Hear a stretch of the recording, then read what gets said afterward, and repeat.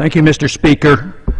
The last nail is being driven into the coffin of the American Republic, yet Congress remains in total denial as our liberties are rapidly fading before our eyes. The process is propelled by unwarranted fear and ignorance as to the true meaning of liberty. It is driven by economic myths, fallacies, and irrational good intentions. The rule of law is constantly rejected, and authoritarian answers are offered as panaceas for all our problems.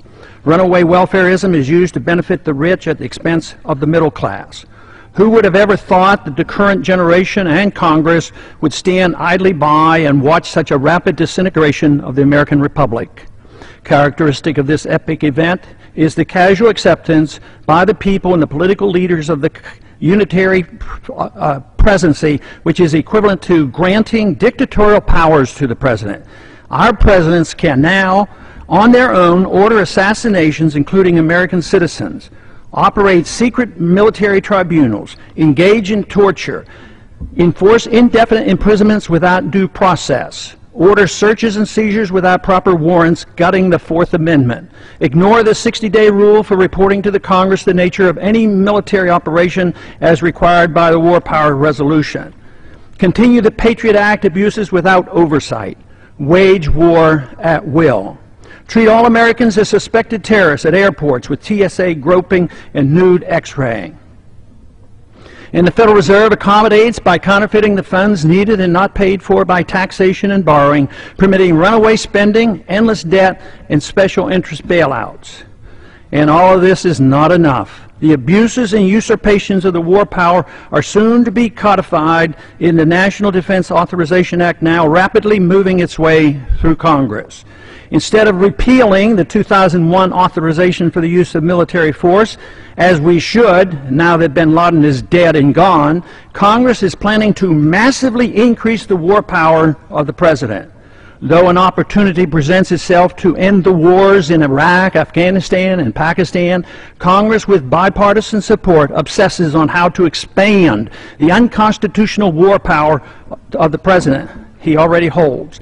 The current proposal would allow a president to pursue war anytime, any place, for any reason, without congressional approval. Many believe this would even permit military activity against American suspects here at home.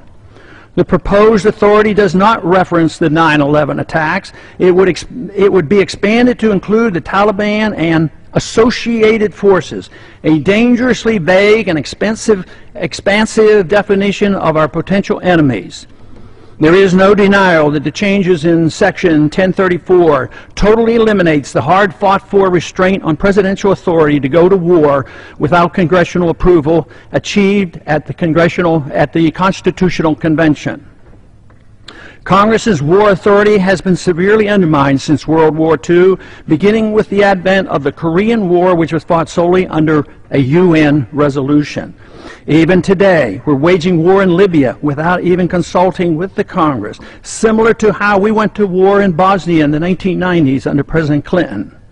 The three major reasons for, the, for our constitutional conventions were to guarantee free trade and travel among the states, make gold and silver legal tender, and abolish paper money, and strictly limit the executive branch's authority to pursue war without congressional approval. But today, Federal Reserve notes are legal tender, gold and silver are illegal. The Interstate Commerce Clause is used to regulate all commerce at the expense of the free trade among the states. And now, the final nail is placed in the coffin of congressional responsibility for the war power, delivering this power completely to the President, a sharp and huge blow to the concept of our republic.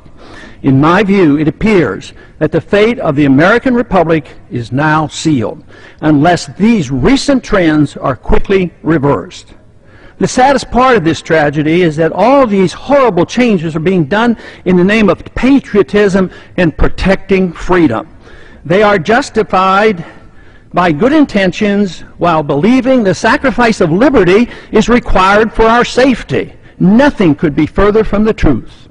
More sadly is the conviction that our enemies are driven to attack us for our freedoms and prosperity and not because of our deeply flawed foreign policy that has generated justifiable grievances and has inspired the radical violence against us. Without this understanding, our endless unnamed, and undeclared wars will continue, and our wonderful experiment with liberty will end. And I yield back the balance of my time.